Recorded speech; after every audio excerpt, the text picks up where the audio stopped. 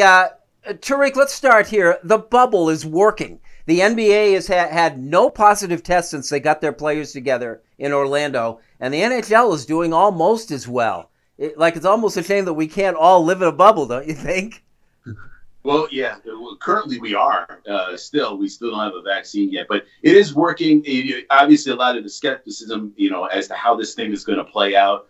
Uh, as long as they keep the, you know, uh, the, the, positive reactions down, and the, then the players get a chance to play and finish out the rest of their season, you can figure out everything else going forward. But you know, it, it's it's how much testing. It's usually they start their, NBA players uh, getting like uh, one or two tests, or you know, they get the nasal, and then they get another test, and you know, and then hopefully, you know, things get to uh, get a little bit better as as the weeks go on and the numbers go down, and you isolate people who are positive before they get there. So they're doing what needs to work in order to play these scrimmages now games.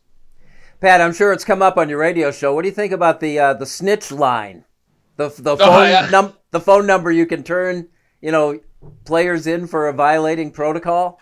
So our listeners are very anti-snitch line, which I totally understand. But if you look at it from the perspective of the players inside the bubble, look, man, they're not going to get paid if these games don't come off. And if the overwhelming majority of these players want to follow the rules and not walk eight feet outside the bubble to pick up delivery food and then have to quarantine another 10 days, games like, or 10 days like that guy from Sacramento did, I get it, man. You've got hundreds of thousands of dollars, if not millions of dollars per player on the line. I'm not a snitch, but if I'm going to lose that money, I might be a snitch all of a sudden.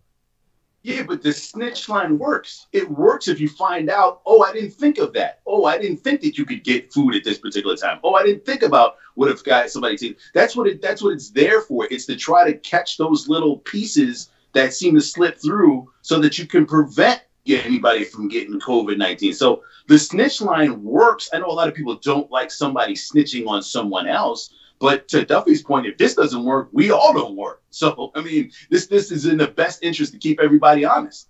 I enjoyed the cartoon about LeBron James blowing in uh, Kawhi Leonard, saying, "I saw Kawhi Leonard. Kawhi Leonard was out there. Get him out of the bubble."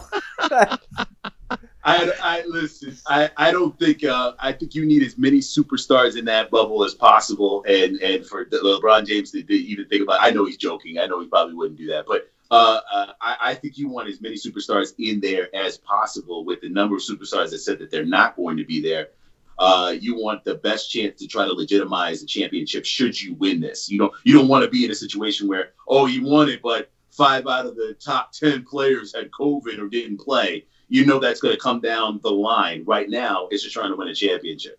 Yeah, Pat, it strikes me the one downside to having like no positive tests in the NBA bubble is if this thing catches fire inside there, someone's going to be looking for how did this happen? Who got out? Who did what? And there's going to be a price to pay there.